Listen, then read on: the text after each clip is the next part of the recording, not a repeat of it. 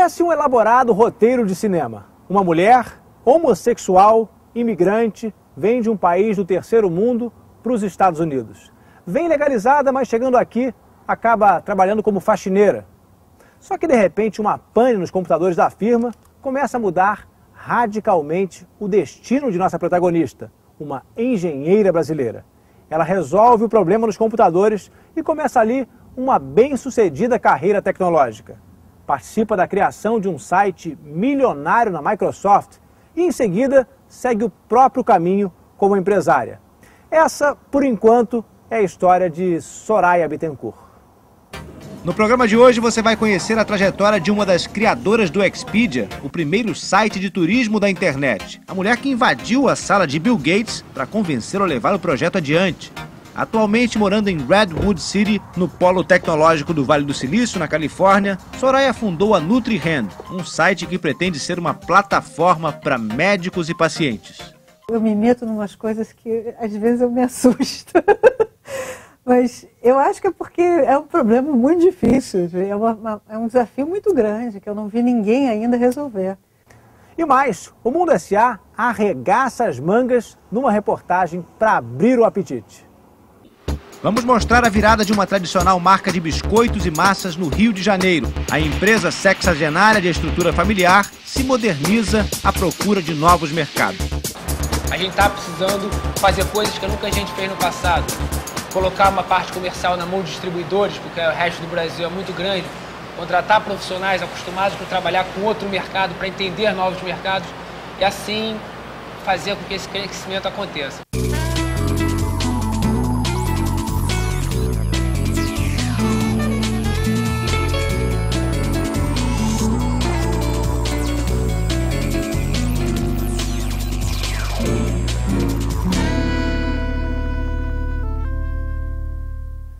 De lançadora de foguetes a faxineira, a empresária bem-sucedida. A caminhada de Soraya Bittencourt não foi nada fácil. Teve preconceito, muita competição e uma grave doença.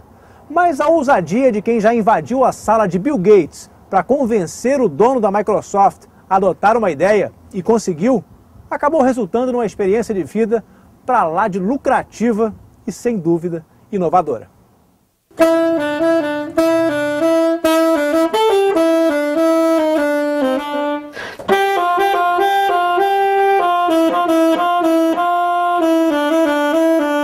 Se não fosse o saxofone,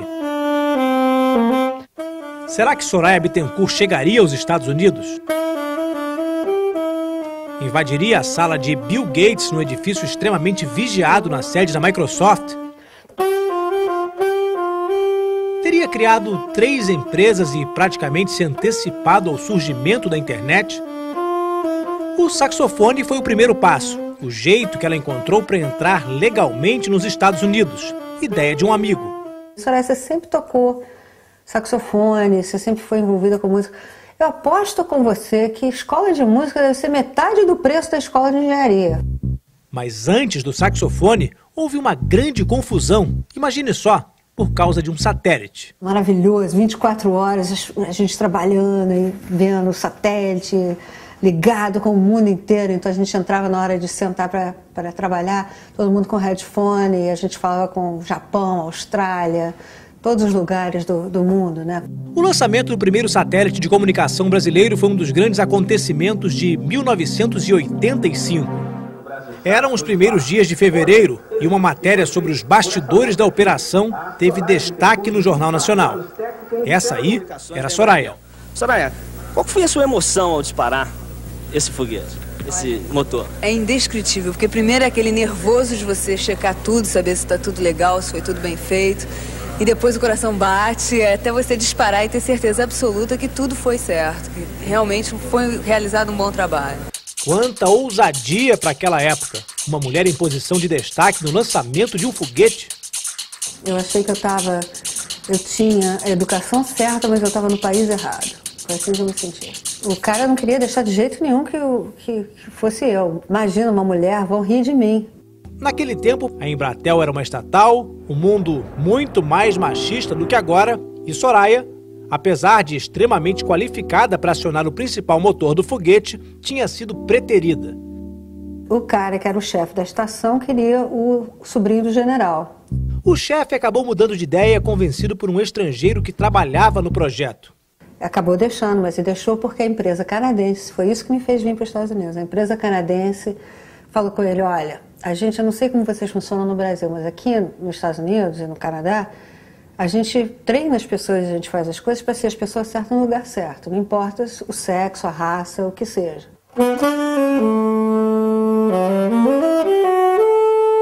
Foi aí que Soraya decidiu deixar o Brasil.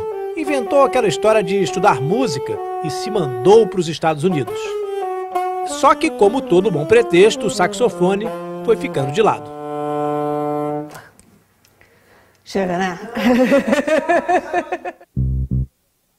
em Redwood City, na região do Vale do Silício, na Califórnia, uma casa com piscina e jardim não custa menos de meio milhão de dólares. Mas isso não faz de Soraya uma milionária, não para os padrões americanos. Talvez ela já tenha tido muito mais dinheiro do que agora.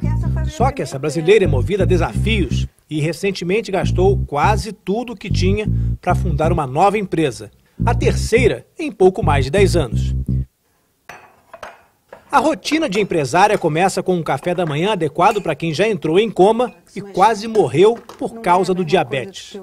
Passei cinco anos comendo é, salada grega na hora do almoço e sanduíche de peru na hora de jantar só. Aí aconteceu o seguinte, eu fiquei pensando por que que não existe ainda uma ferramenta, você sabe, a gente, eu estou no Silicon Valley, então todo mundo tem ideias todo dia, todo dia tem novas é, tecnologias, tem novas maneiras de, de é, jogar coisa no mercado.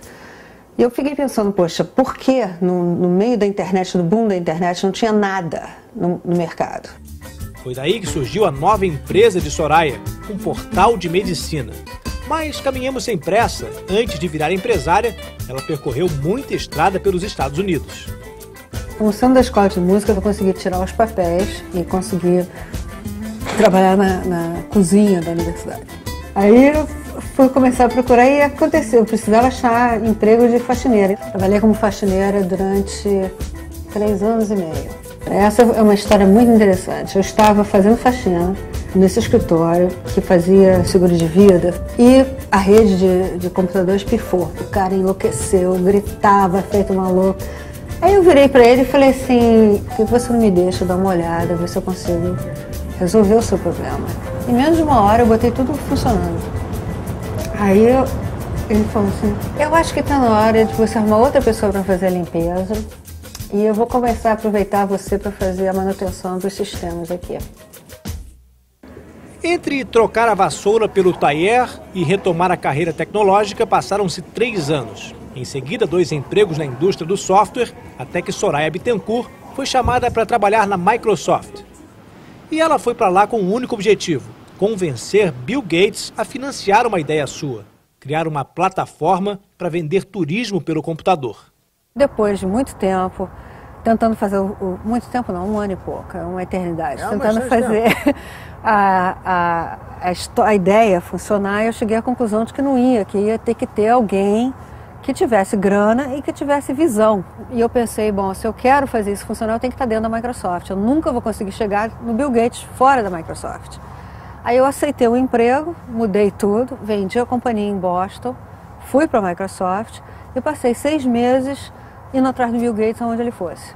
Então eu ia para todo, todo dia eu passava na frente do escritório, todo dia eu ia olhar se o carro dele estava na garagem, todo dia eu passava na cafeteria que ele comia, até achar uma oportunidade. A oportunidade podia até dar cadeia para Soraya, mas deu em promoção. Num sábado de manhã, Soraya chegava para trabalhar e decidiu dar uma passadinha pelo prédio onde o chefe trabalhava. Na sala dele, uma cena incomum: operários no alto de uma escada fazendo concertos e, pela primeira vez, a porta aberta. Soraya então pensou: é agora ou nunca? E não teve dúvida. Invadiu a sala de Bill Gates, deixou sobre a mesa um CD-ROM com o projeto dela, um cartão de visitas e um bilhete. Você deve olhar o mercado de viagens. Soraya foi vista pelas câmeras e, quando saía da sala, detida pelos seguranças. Depois de um bate-boca, conseguiu provar que era funcionária da empresa e inventou uma desculpa. Bill Gates me pediu para deixar isso para ele. Ela disse e foi embora. Aí, três meses depois, eu recebo um telefonema na minha, no meu escritório. Ah, você é a Soraya, que deixou aquele disco na sala do Bill Gates há três meses atrás. Do telefonema saiu o convite para trabalhar na montagem do que mais tarde seria o Expedia, um site de turismo em que o usuário assume o papel de um agente de viagens, com acesso a praticamente todas as empresas do setor. Você foi chamada para liderar o projeto? Foi, na área de tecnologia, não na área de negócios. Por que, que você saiu? Porque eu queria ser a chefe de tudo. Soraya afirma que sua ideia foi a origem do projeto que surgiu dentro da Microsoft e revolucionou o mercado de turismo. Mas na hora em que foram escolher um presidente para o site Expedia, a brasileira ficou de fora. Eu era mulher, estourada, da América Latina, era lésbica, todo mundo sabia que eu era. Eu até defendia as pessoas publicamente dentro da Microsoft.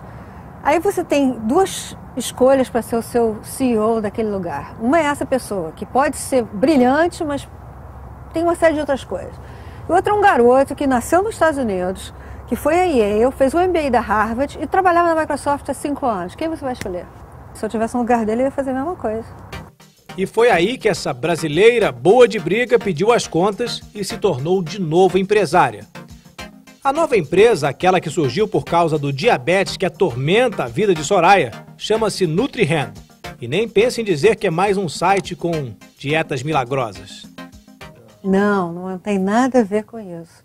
É dar as ferramentas para as pessoas que usam, ah, que precisam se educar na área de alimentação, que precisam controlar e rastrear os seus dados na alimentação, na, na área física e também na área de medicamento tem um local central na qual eles podem colocar todos os dados num lugar só.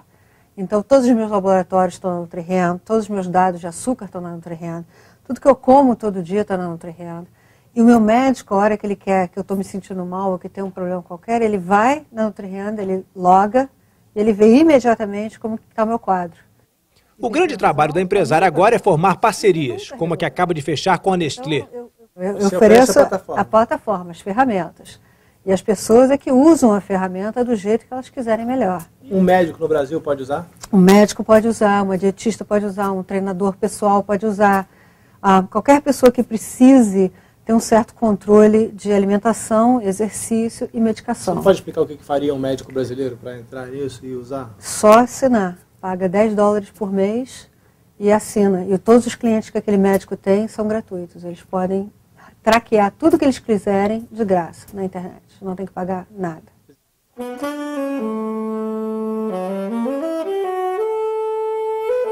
Saxofonista, lançadora de satélites, faxineira, engenheira de computação, funcionária da Microsoft, diretora da América Online, criadora de empresas. A inquietude que tirou Soraya do Brasil esteve com ela ao longo de todo esse tempo e continua.